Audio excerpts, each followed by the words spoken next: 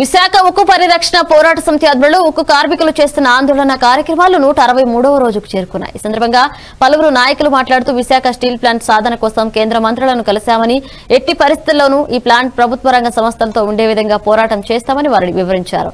కేంద్రం తమ సమస్యలను పరిష్కరించే వరకు ఆందోళనలు కొనసాగిస్తామన్నారు. ఈ కార్యక్రమంలో ఏఐటీయూసీ అధ్యక్షులు M Masinarao general secretary Ramakrishna YSRCP నేత ఎన్ శ్రీనివాసరావు తదితరులు పాల్గొన్నారు. ప్రధాన కార్యదర్శి AITC union Visakhapatnam steel plant. Visakha ఉక్కు ఆంధ్రుల హక్కు అనే నినాదంతో స్ఫూర్తితో బిగినటువంటి ఈ ప్లాంటు.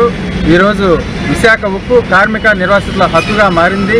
ఎందు గురించి అంటే ఈ దేశంలో ఉన్న వేలాది మంది నిర్వాసిత వేలాది మంది నిరుద్యోగ యువతకు కానీ ఇక్కడ ఉన్న వేలాది మంది నిర్వాసితులకు కానీ ఉపాధి కల్పిస్తూ ఉంది. ఇటువంటి ప్లాంట్ని ఎందు గురించి అంటే ఆ రోజు ఐదు వేల కోట్లు పెట్టుబడి పెట్టారు. ఇవాళ నలభై తొమ్మిది వేల కోట్లు పెట్టుబడిగా రిటర్న్ ట్యాక్స్లకు తీసుకున్నారు. అయితే ఇటువంటి ప్లాంట్ని ఇవాళ ఇబ్బడి ముబ్బడిగా పెరిగినటువంటి రెండు లక్షల కోట్ల విలువ కలిగిన ఈ ప్లాంట్ని అలవల సోళ్ళకి అంటే ముప్పై మూడు వేల కోట్లకి బహిరంగ మార్కెట్లో అమ్ముతామని చెప్పేసి అమ్మ చూపటం వ్యూహాత్మక అమ్మకం అనేది తీవ్రంగా కార్మిక వర్గంగా తీవ్రంగా ఖండిస్తున్నాం. అలాగే రేపు ఇరవై ఐ ఐదో తారీఖు రేపు ఉదయం కోరవనపాలెం నుంచి దువ్వాడ వరకు అలాగే దువ్వాడ నుంచి ఇటు వడ్లపూడి పాదయాత్ర చేయడం జరుగుతుంది. అలాగే దాన్ని కూడా జయప్రదం చేస్తాము.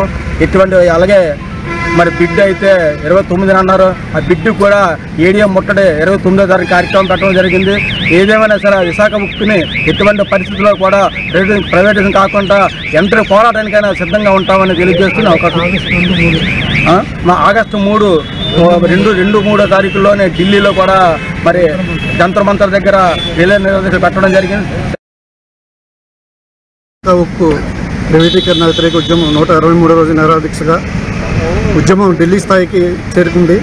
ఏదైతే పరిరక్షణ కమిటీ నాయకులు ఉన్నారో వాళ్ళందరూ ఢిల్లీకి వెళ్ళి అందరి నాయకుల్ని రాజకీయ నాయకులందరినీ రెండు పార్లమెంటు సభల్లోనే ఉన్నటువంటి నాయకులకి విశాఖ